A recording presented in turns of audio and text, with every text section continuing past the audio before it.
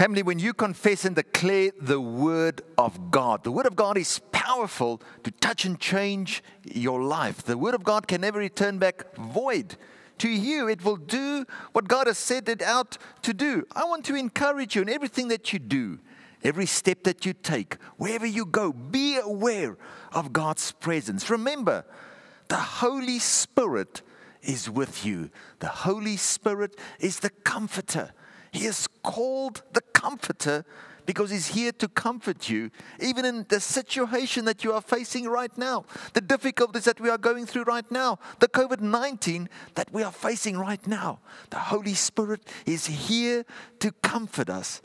This will bring me to our sermon topic for this morning comfort in affliction. Turn with me in your Bible to the book of Romans 8, verse 28.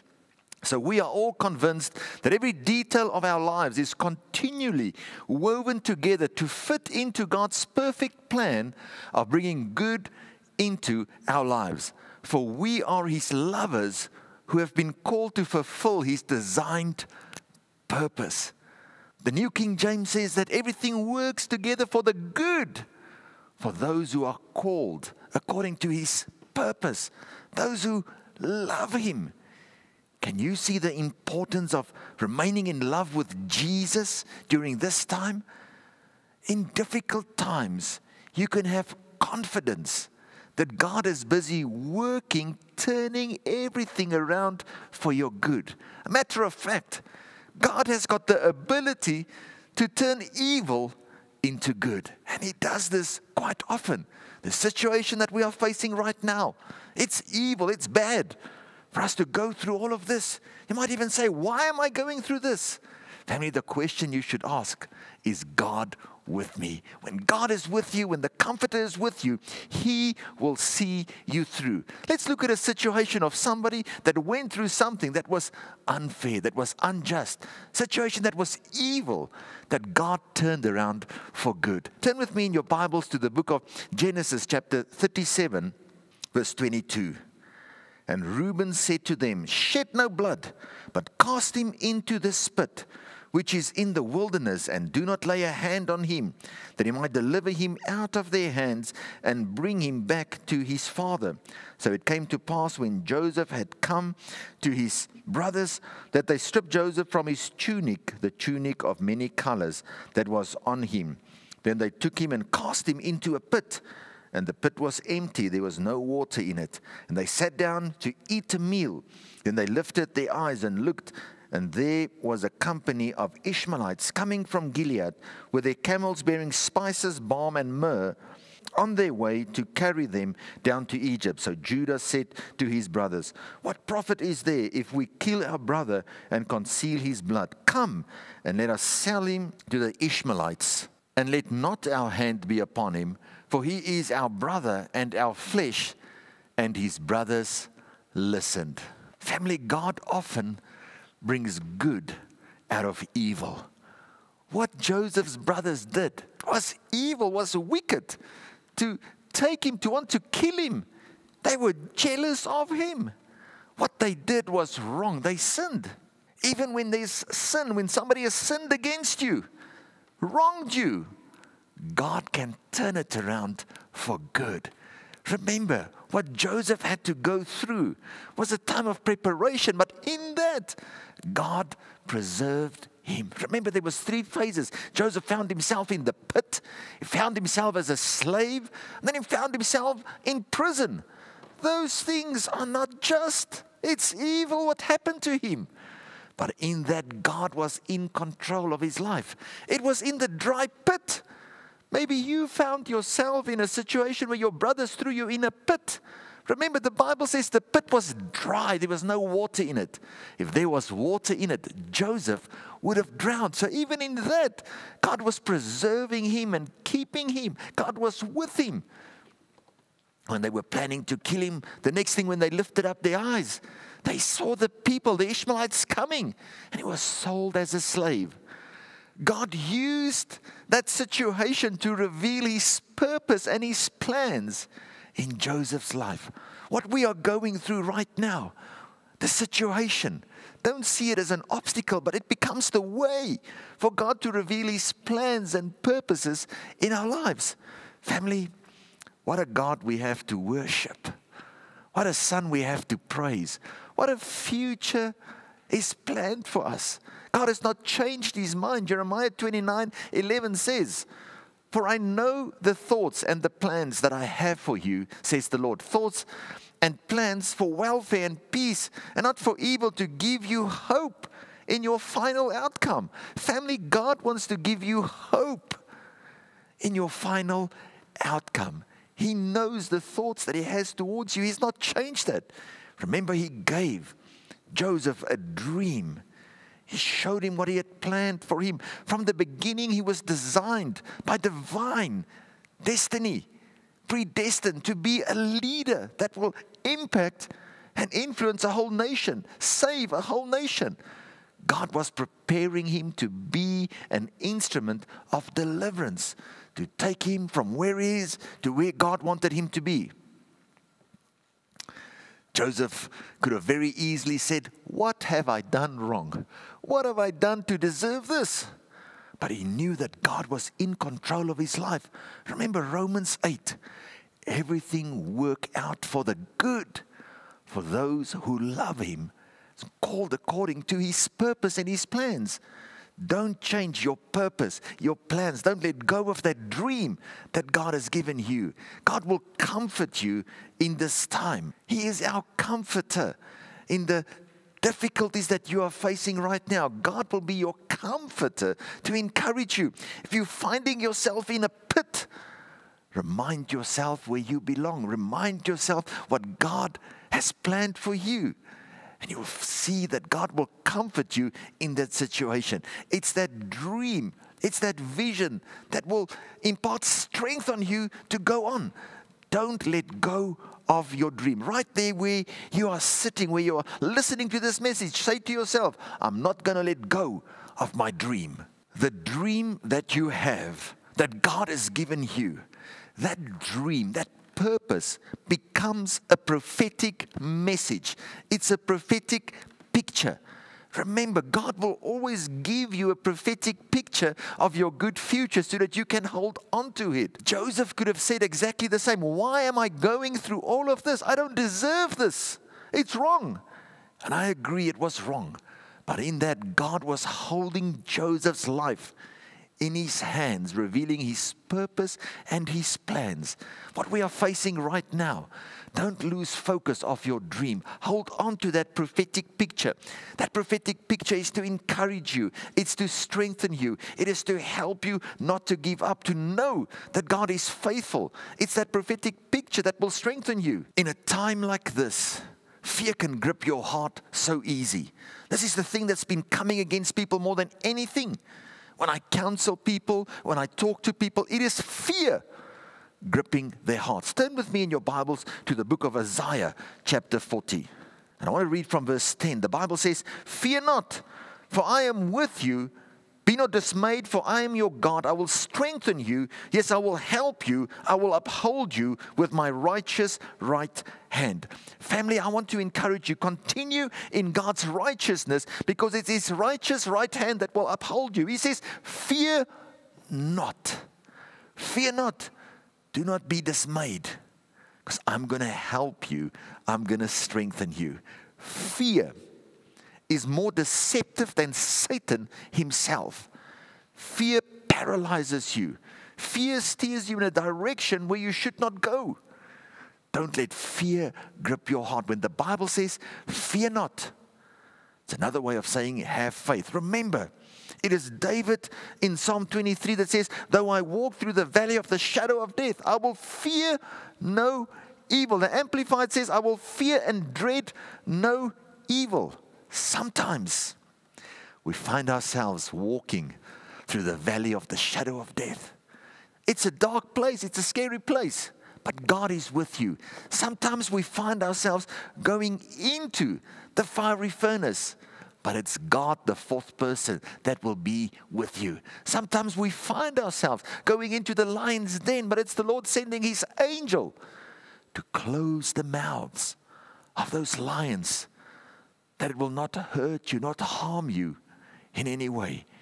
This has been one of the toughest situations that we are facing, an affliction that's come upon us.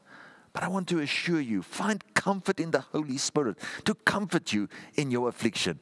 It was in the pit that Joseph reminded himself, I know where I belong.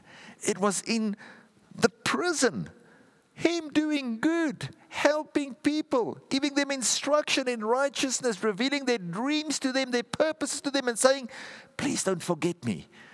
Where they forgot about him. Joseph could have become bitter because they disappointed him, didn't help him, but he didn't. He remained focused upon that prophetic picture, that dream that God had given him. Family, in what we are facing right now, the question that you should ask yourself It's not why am I going through this? Why is this happening? You should not be saying this is unfair. The question you should be asking is the Lord with me? When the Lord is with you, he will comfort you. When the Lord is with you, who can come against you? Sometimes we go through the fiery furnace, but God will be with us. Sometimes we face a lion, sometimes we face a giant. Doesn't matter what it is, God will show you that prophetic picture of your good future. Not the future you fear, but the future that you hope for, the future that you desire. God has not changed his mind in any way, but He will perfect everything concerning you. In this future that God wants to give you, that you are hoping for, what are you saying about that future? What are the words that you are declaring? Because remember, negative words produces unbelief and fear. But positive words will produce faith and hope in your heart so that you can face your future we have to be aware of the fact that the Jesus that lives on the inside of us is an overcomer. He overcame death. It's a victorious spirit that will take you from where you are to where God wants you to be. It doesn't matter how long the season will be, the Holy Spirit will be with you in it and through it. It is this prophetic picture that strengthened Joseph on the inside, that helped him. The Holy Spirit could remind him, comfort him, say that I've called you, I've predestined you to be a leader, I've predestined you to be in a position of authority where others will honor you. But he had to go through that whole season so that God could mature him, so that God could strengthen him. It is the prophetic picture that gives us strength to endure our current situation. You have to remind yourself God has not changed his mind concerning you. Family, as a Christian, don't ever say you don't know your future. You know what God has planned for you. He has given you that prophetic picture. Let's go to the book of James, chapter 5, verse 11. Indeed, we count them blessed who endure You've heard of the perseverance of Job and seen the end intended by the Lord, that the Lord is very compassionate and merciful. Can you see here?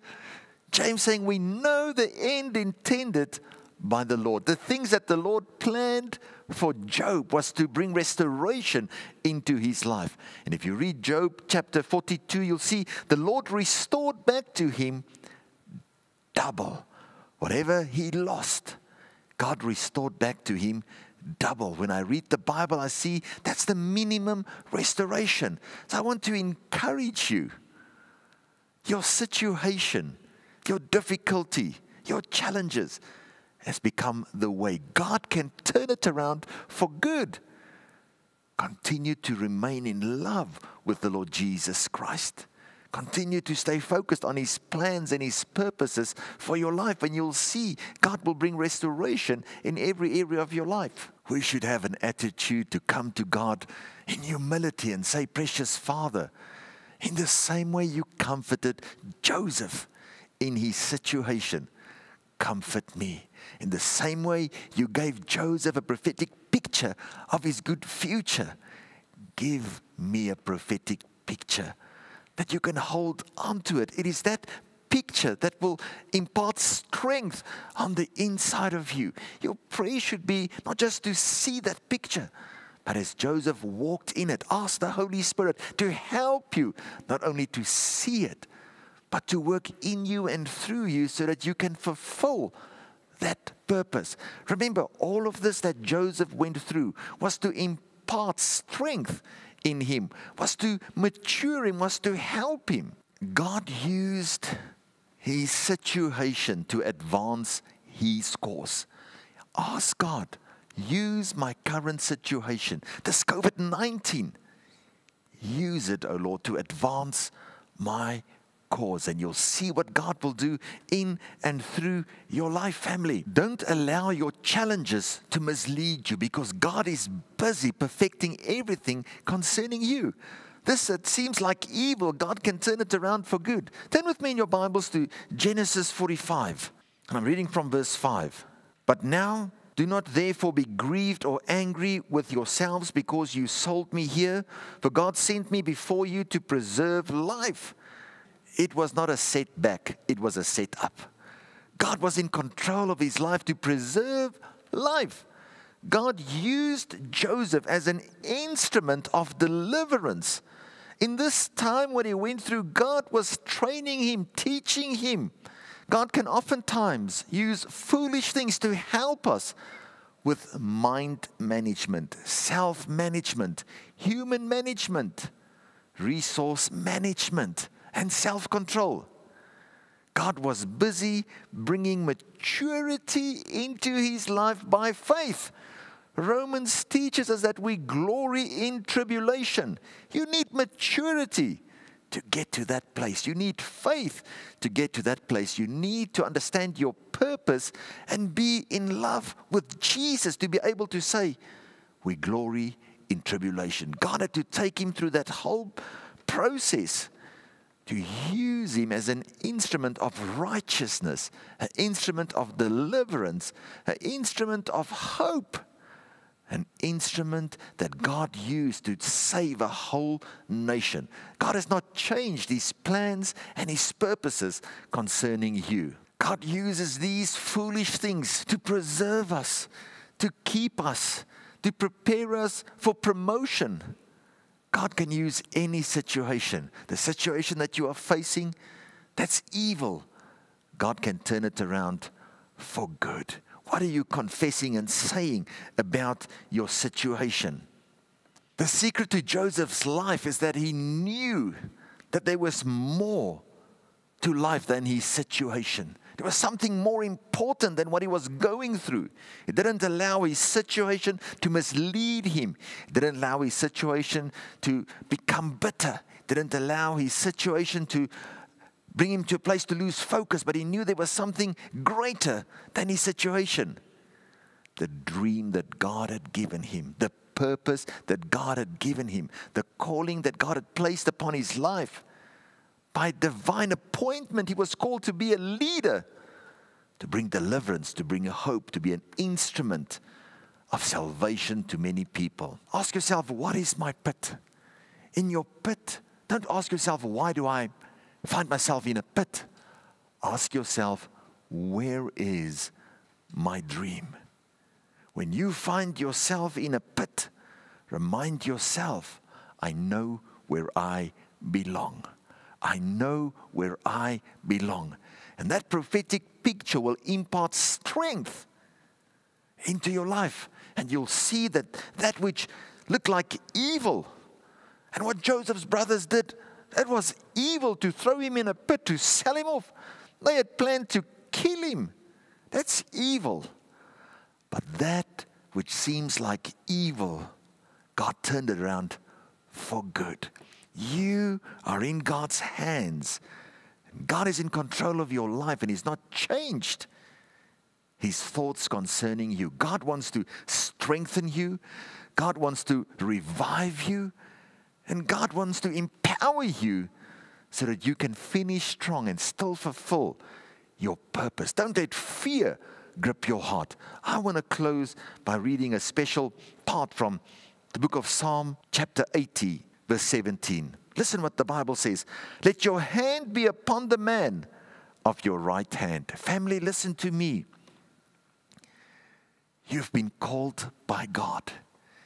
You are seated in heavenly places. You are born from above. That victorious spirit is on the inside of you.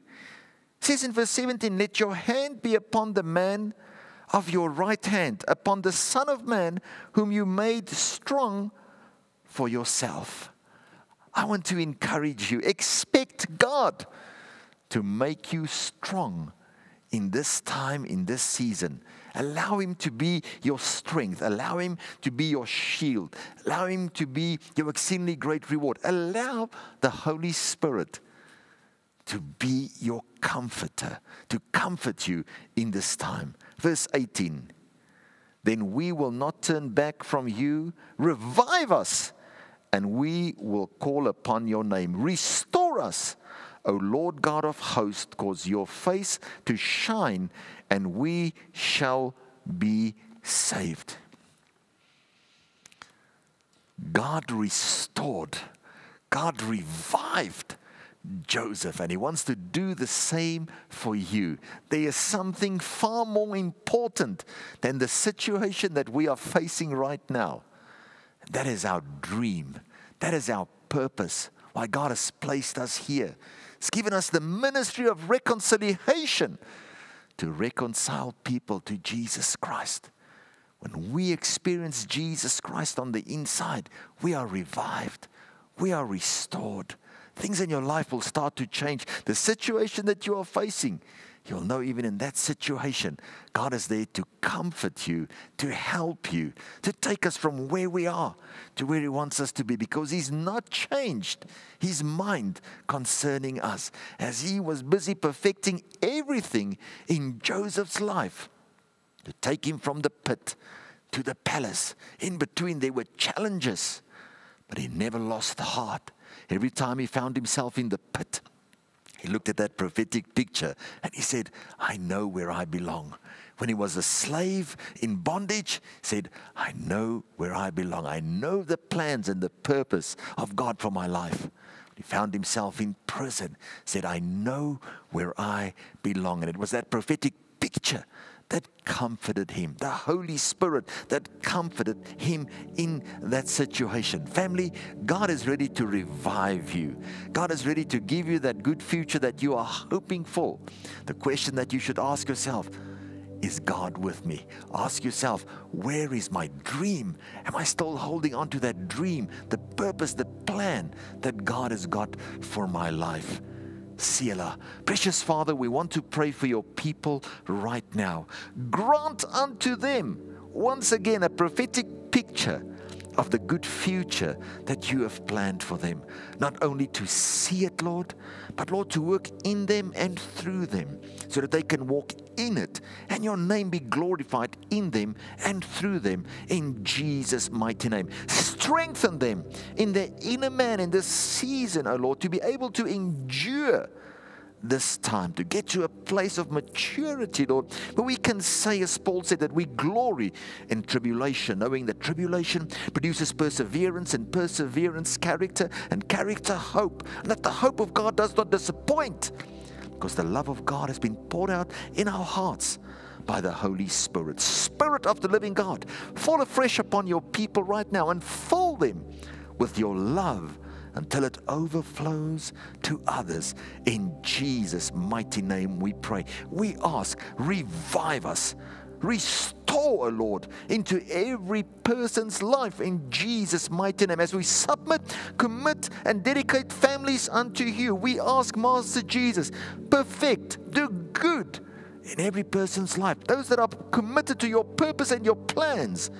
Stretch forth your mighty right hand. Cause the light of your favor to shine upon all their ways. In Jesus' mighty name. Father, every person listening right now, we want to command your light into their lives, for in your light there's life. Bring healing, health, and strength to every household, Lord, even in this winter season. Let your blood speak, let your mercy speak, let your healing speak in Jesus' mighty name. As we pray the blood of Jesus over every person, O oh Lord, be their shield, their protection, their exceedingly great reward. In Jesus' mighty name. Stir up the spirit of every person on the inside, that they may speak the oracles of God, that them start to declare the good future that you have planned for them, oh Father. And we thank you for that in Jesus' mighty name. Right now, Lord, we leave your peace with every person in Jesus' mighty name. The peace that surpasses all understanding, all reasoning, Father. The peace that comes from your throne room from heaven in Jesus' mighty name. Let heaven rule in every heart, oh Father, in Jesus' mighty name, to impart the power that comes from your throne room into your people's lives, Lord, as we receive from your throne room everything that's good, everything that's pure, everything that's holy, everything that builds up, everything that encourages, everything that strengthens, everything that glorifies your wonderful name. we thank you for that. We bless you for that. In Jesus' mighty name we pray. Amen and amen. Family, I want to encourage you that there's comfort in affliction because Jesus Christ is with us. The Holy Spirit, the Comforter, is with you. Be aware of His presence and you'll experience Him comforting you in everything that you do. Go out this week and go and encourage a few people. Share this message with them that they have a friend in the Holy Spirit that's there to comfort them, a friend in the Holy Spirit that's there to dispose of all giants to make our way straight and smooth, even in this difficult time. God will be with us. As David said, though I walk through the valley of the shadow of death, though I walk through the valley of COVID 19, the Lord is with me. I will fear no evil. I will dread no evil because the Lord is with you, leading you in your purpose and the plans that He's got for you. Amen. Let me declare a blessing over you. Raise your hands to heaven. Father, right now we bless your people with every blessing that's in Christ Jesus, and we declare, Lord, that only your goodness and your mercy will follow them all the days of their lives. May the Lord bless you and keep you and cause his face to shine upon you. May the Lord be gracious towards you. May the Lord lift his countenance upon you and give you peace. In Jesus' mighty name we pray. And everybody said, Amen. God bless you. Have a wonderful Sunday.